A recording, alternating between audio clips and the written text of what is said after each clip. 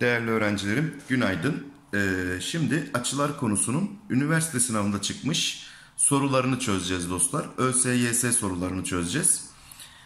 Ee, bunu hemen yayınlamayacağım dostlarım. Eğer ki e, telif hakkı falan varsa yayınlamayacağım zaten. Ama bir bilene soracağız.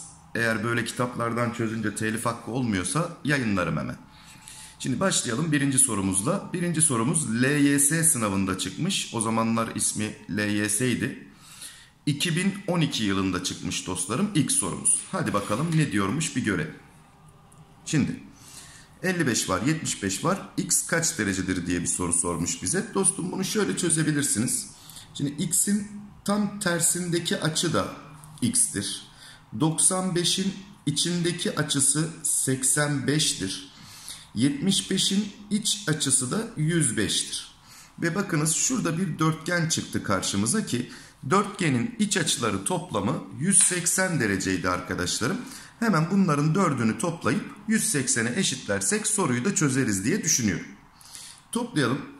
E, 105 var burada. 85 daha 190 yaptı. 55 daha e, 190 245 yaptı.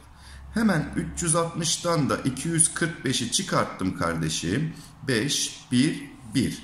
115 geldi. Sorumuzun cevabı. Bursa'dan çıktı yani. Evet ikinci sorumuz. Bu soruda DGS sınavında sorulmuş arkadaşlarım.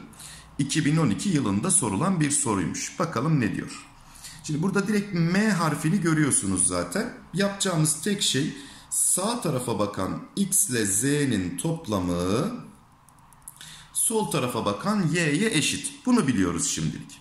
Peki başka ne var? 70 olduğuna göre z kaç derecedir diye bir soru sormuş bize. Şu kerataları da alt alta bir yazalım. x artı y'nin 53 olduğunu biliyoruz. y artı z'nin 70 olduğunu biliyoruz. Bunları da bir tutalım. Şimdi bunları şöyle alt alta toplarsanız şu ikisini sadece şu ikisinden bahsediyorum. x artı z geliyor. x artı z artı y artı y'den 2y geliyor. Bir de 70 ile 53'ün toplamı 123 geldi dostum. Şimdi biz x ile z'nin toplamını ilk denklemde ne bulduk? Yani m kuralından ne bulmuştuk? y diye bulmuştuk. Peki 1y burada, 2y de burada ne yaptı? 3y. Yani 3 tane y 123 oldu. Dolayısıyla 3'e böldüğümde y eşittir 41 geldi. Ha, bize z'yi soruyor. Hemen şuradaki denklemde y yerine 41 yazdığımda 41 ile z'nin toplamının 70 olduğunu görüyorum. 41'i bu tarafa atarsak ne kalıyor? 19 mu kalıyor? Yok 29 kalıyor z'ye z eşittir 29'muş. Geçtim 3. soruya. 2013 DGS sorusu. Bir 20 derece var. Hani soruyu okumadan önce şöyle şekle baktığımda gördüklerimi bir yazayım. Oraya 90'dır dedim. Burası da 70 derece geldi. DC dikmiş AB'ye onu gördük. Üçgen. Bir de AB eşittir AC'ymiş dostlarım. Yani şuradaki kenar şuradaki kenara da eşitmiş. Bunu da söylemiş olalım. Başka DB paralel AC demiş. DB ile AC birbirine paralelmiş. Hemen şu Z harfini görünüz bakın. Şurada bir Z harfi var. 70 ise buradaki açının da 70 olduğunu biliyorum. Ve 70 ise ikiz kenar üçgenimin tepesi taban açılarına toplamda 110 kalır. Ve bu 110'u 55 Şurası da 55 derece olacak şekilde ikiye böldük. Şimdi şurada da bakın burası da 90 derecedir. 70 buradaysa şuraya da 20 kaldı. 55 olması için buraya da 35 derece kaldı. Yani cevap Bursa'dan çıktı. Evet dördüncü sorumuza bakıyorum. LYS 2014 sorusu. Şurada hemen bir ikiz kenar üçgen gördüm dostlarım. Tepesi 110. O zaman eşit açılarına mecbur toplamda 70 kalacak. Ve bu 70'i de 35 35 paylaşacaklar. Şimdi 110'un dış açısı 70 derece. Şurada bir ikiz kenar üçgen var. O zaman eşit açılarımıza 70 70 yazalım. 70, 70 daha 140. Şuraya da 40 kaldı. Ve bakın x'in 40'ın ve 35'in toplamı 180 olacak. Doğru açı olduğu için. 40 ile 35'i topladım. 75 yaptı. O halde x açısına 105 derece kaldı dedik. 5 numaraya bakıyorum. X kaç derecedir diye bir soru sormuş. 26'yı görüyorum. Başka D noktası BC üzerinde E noktası da AD üzerindedir. Ayrıca AC, CE uzunlukları birbirine eşittir. Bunu bir görelim. AC uzunluğu CE'ye, CE'yi görelim şurası. Bir de AD ile de DB. AD'yi görelim. AD şurada. DB de şurada. Bunlar birbirine eşitmiş. Acaba dördü mü birbirine eşit? Evet dördü birbirine eşit. Çünkü virgülü şuraya koymuş dostlarım. O halde dördüne de aynı simgeyi koyalım. Şimdi 26 ise şurası da 26 oldu. Bunu bir yazalım. Sonra 26 ile 26'nın toplamı iki iç açıdır. Bir dış açıya eşit kuralından burası 52 derece oldu. Bunu da yazalım. Daha sonra bu ikisi birbirine eşit dostlarım. Bakın şunların ikisi eşit. Demek ki şurası da 52 derece. Bunu da söylemiş olalım. Sonra 52. 52 daha 104. Şuraya da 76 kaldı. Bunu yazalım. Peki bu ikiz kenar üçgenden taban açılarımız eşit olduğu için bu da 76. 76 76 daha 152 yaptı. 152 ise x'e de 28 derece kalmak zorundadır dedim. ALES sorusuymuş arkadaşlarım bu da. Evet geldik 6 numaraya. ABC dik üçgen diklik varmış. 40'ları 188'i 125'i söylemiş. Buna göre x kaçtır diye de bir soru sormuş. Gayet basit bir soru dostlarım. Şu üçgenden başlayın hemen soruyu çözmeye. Şimdi 88 40 daha 128. O zaman buraya 52 kalır. 90'dı buranın toplamı. 52 buradaysa şuraya 38 kalmalı ki toplamları 90 olsun. 125, 38 daha hemen toplayalım şöyle kenarda. 8, 5 daha 13 elde var 1. 3, 2 daha 5, 1 de elde 6. 163 yapıyormuş ikisinin toplamı. O halde diyorum ki 17 kalmalıdır x'e 180'e tamamlamak için. Cevap Denizli'den geldi. Evet ilk 6'yı gömdük. 7 numaradayız dostlarım hemen. 2017 sınav sorusuymuş bu da. Bakınız şu 111 ile başlayalım mı? 111 dış açısı e, 69 derece olacak. 111'in dış açısı 69 derece. Peki ikiz kenar olduğu için burası da 69 derece. Bunların toplamı 120, 18 daha 138 yapar. Şuraya da 42 derece kalır. Şimdilik burayı biliyoruz. Başka ne biliyoruz? AB ile de BC birbirine eşitmiş. AB ile BC şöyle 3 çizgi koyayım buna diğerleriyle karışmasın. Demek ki şu iki kenar birbirine eşitse bunların kesiştiği nokta şurası bizim tepe açımız. Tepe açısının dışındaki şu iki açının ölçüsü eşitti. Yani bura 69 ise burada 69 olacak. Şuranın tamamı 69. 42'yi çıkarttım hemen dostlarım. Buraya da 27 kaldı. Peki şu ikiz kenarı kullanıyorum şimdi. 27 ise buranın da 27 olduğunu söylüyorum. Ve artık şu üçgenin iç açılarının toplamını 180'e eşitlesem soru bitiyor. 27 burada. 27 daha burada. Bir de şurada da 111 artı x var dostlarım. Bunların üçünün toplamı 180 derece olacak. Soru da buradan çözülecek. Hadi toplayalım. 27, 27 daha 54. 111 daha 165 yapar. Geriye de 15 derece kalır 180'e tamamlamak için. Evet yine 2017 sınav sorusu. Şimdi iki tane kenar birbirine eşit ve kesim noktaları 60 derece ise arkadaşlarım burada kesin bir eşkenar üçgen vardır. Hemen DB'yi birleştiriyorum. Tepesi 60 ise ayakları da 60 olacak demiştim. Şuralara da 60, 60'ı yazıp bunun eşkenar üçgen olduğunu gösteriyorum. Ve bakın burada da bir ikiz kenar üçgen çıktı karşımıza. O halde şuranın da 20 derece olduğunu söyleyelim. Şimdi burası x ise yine şu ikiz kenar üçgenden bu açının da x olduğunu söyleyelim. Ve kocaman üçgenin iç açılarının toplamını 180 yaptığımızda soru da bitecek. Bakın burada bir 80 var. Şurada bir 60 var 140 yaptı. Şurada bir 20 var. E, 160 yaptı. Bir de x ile x var. Yani 2x ile 160 var. Toplamları 180. Demek ki 2x eşittir 20. x eşittir 10'u paketledik. Cevap Bursa'dan geldi. Evet. Geldik şu soruya. TYT örnek kitapçıkta yayınlanan bir soruymuş arkadaşlarım. Bu 2017 yılında yayınlanmış. Diyor ki eşitliklerinden hangileri her zaman doğrudur? Şu şekle göre konuşalım. Şimdi bir kere ters açılar eşitti. Yani Fransa Ceyhan'ın tam tersidir. Dolayısıyla F ile C birbirine eşittir. Sonra Bursa ile Edirne birbirinin tam tersidir. Bursa ile Edirne birbirine eşittir. Bakın hemen ikinci öncül kesinlikle doğrudur diyebilirim. Yani iki kesinlikle olacak şıklarda. Öncelikle ikinin olmadığı şıkları şöyle bir silelim biz hemen. Devam ediyorum. Sonra Denizli ile de Adana birbirinin tersidir. Denizli ile de Adana birbirine eşit olacak diyelim. Bunu da yazmış olduk dostlar. Başka neler söyleyebiliriz? Şöyle bir bakalım. Ee, başka şunu gördüm.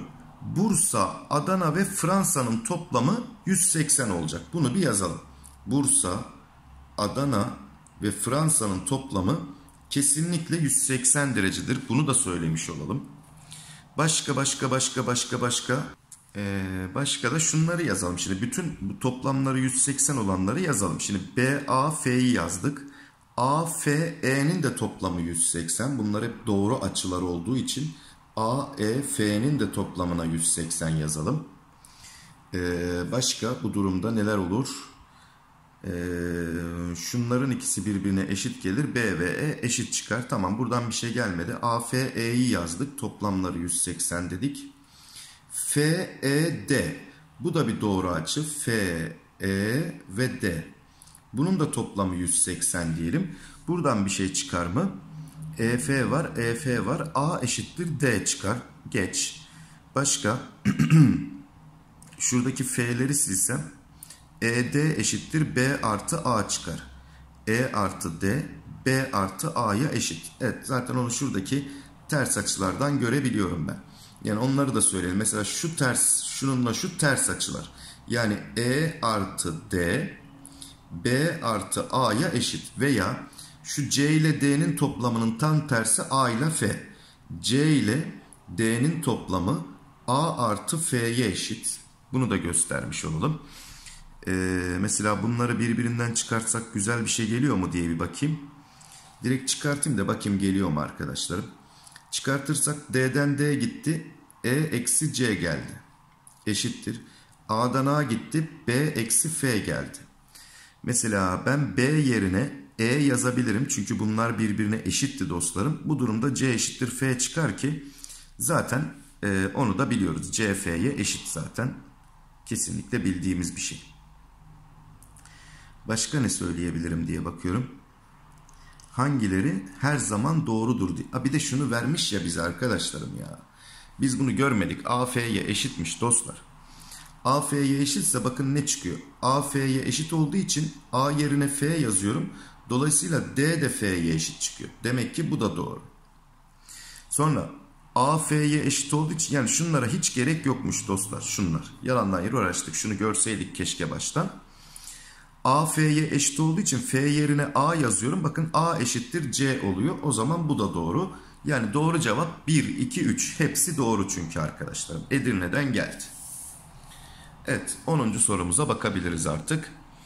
AC CE'ye eşit tamam. 40 ise burası. Şunlar eşit açılarımız bizim dostlarım. Tabandaki açılar. 140 kalıyor bunlara ve 70-70 paylaşıyorlar. Ve bu 70'in tam tersi de 70'tir diyorum. Şu üçgende 70, 50 daha 120. X'e kalıyor. 180'e tamamlamak için 60 dedim.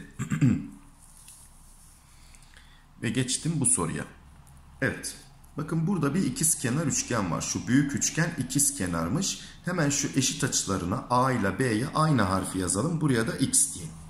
Sonra şu üçgende iki iç açının toplamı yani 30 ile X'in toplamı üçgenin üçüncü açısının dışına eşitti.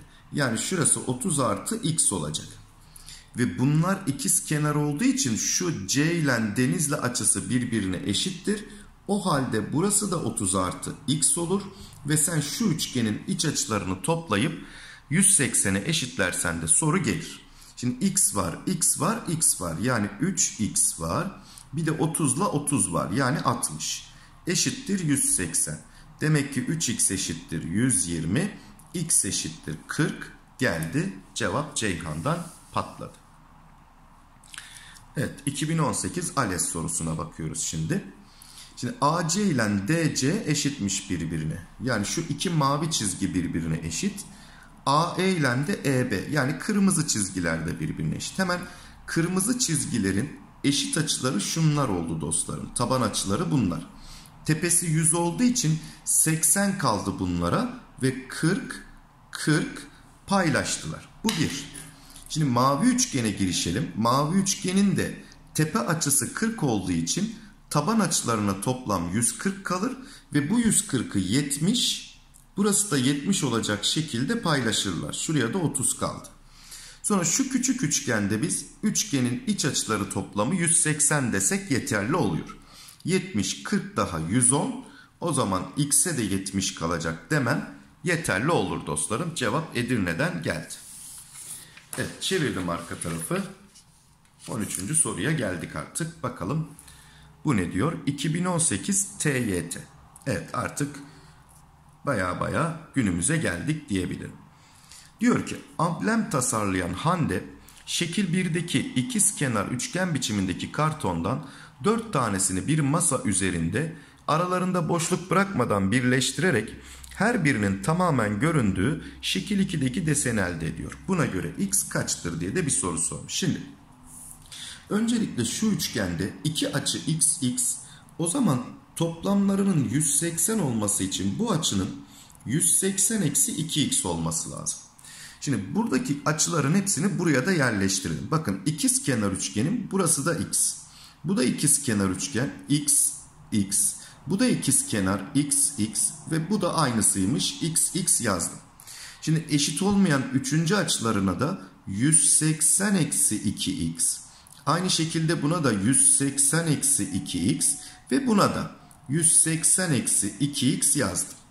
Ve bakın şunu fark ettim. Şurada bir tam açı oluştu arkadaşlarım. Yani yuvarlak oluştu bakın şurası. Ve tam açının ölçüsü neydi? 360 derece. Şimdi toplayalım bunların hepsini.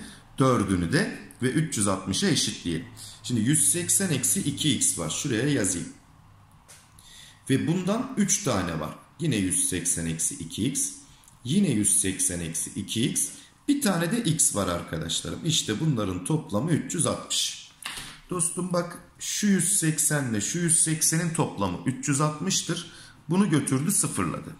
Sonra eksi 2x, eksi 2x daha eksi 4x. Bir eksi 2x daha eksi 6x. Bir de artı x ekliyorum eksi 6'ya 1 ekliyorum yani eksi 5x.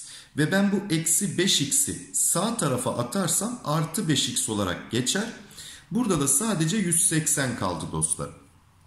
Sonra her iki tarafı 5'e bölüyorum. Yani 180'i 5'e bölüyorum. x eşittir 36 geliyor. Cevap Denizli'ymiş. Sorumuzun cevabı Denizli. Evet. Erva bu da MSÜ sorusuymuş bu arada arkadaşlarım. 2018 yılında MSÜ sorusu. Erba açı ölçer kullanarak şekildeki üçgenin iki açısının ölçüsünü hatasız ölçüyordu. Tamam. Buna göre bu üçgenin diğer iç açısı kaç derecedir diye bir soru soruyor. Bakın açı ölçer kullanmak çok kolay dostum. Şimdi bu açıyı oluşturan iki kenar şunların ikisi. Hangi sayıların üstünden geçiyorsa bakın 110 ile 70'in üstünden geçiyor. Bunların farkı bu açıyı veriyor. 110'dan 70 çıkarırsanız 40 kalır. Demek ki bu açı 40. Aynı şeyi şimdi bu açı için yapalım. 130 ile 50'den geçiyor. Farkları 80. Buraya 80 yazdım. 80, 40 daha 120. Üçüncü açımıza da 60 derece kaldı. Dolayısıyla üçüncü açıyı da soruyordu bize. 60'ı yapıştırdım. evet şunu okuyalım.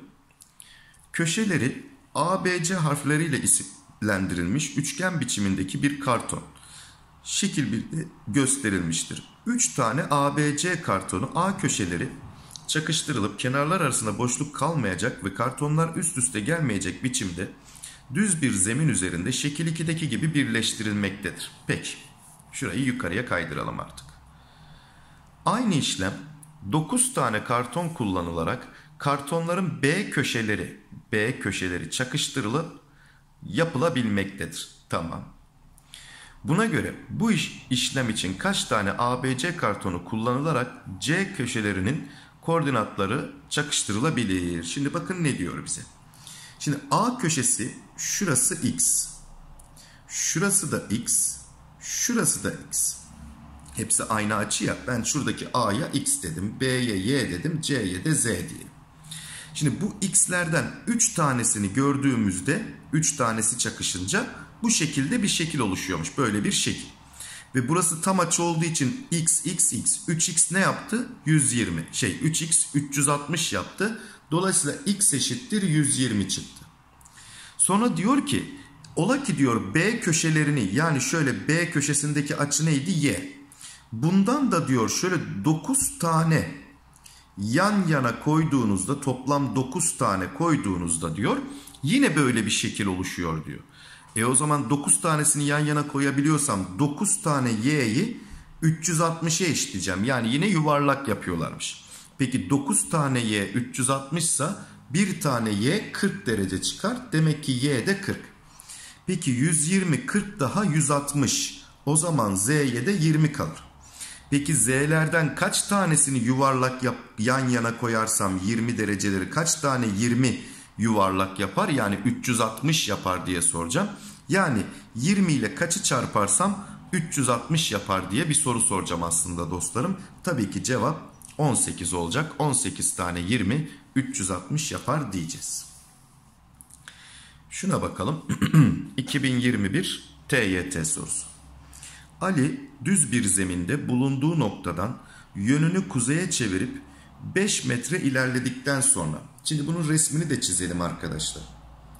Ali burada kuzeye doğru yani dik bir şekilde 5 metre ilerliyor. Saat yönünde 126 derece dönüp şimdi buradan şöyle giderdi normalde Ali buraya kadar geldi. Sonra 126 derece dönecek arkadaşlarım. Bu doğrultusu 126 derece döndürülüp saat yönünde dönecekmiş.